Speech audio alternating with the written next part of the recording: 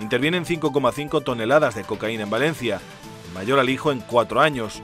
Una operación conjunta del Servicio de Vigilancia Aduanera, de la Agencia Tributaria y la Guardia Civil ha logrado intervenir en el puerto de Valencia 5.592 kilos de cocaína camuflada en un contenedor que transportaba fruta procedente de Sudamérica. Se trata de la mayor aprehensión de cocaína en España de los últimos cuatro años y la más importante en el puerto de Valencia desde que existen registros, según informa el Ministerio de Hacienda. El valor en el mercado de la cocaína incautada ascendería a los 340 millones de euros. Por el momento no ha habido detenidos, pero está previsto que los haya, aunque no se ha facilitado más información, ya que la operación sigue abierta y se continúa investigando.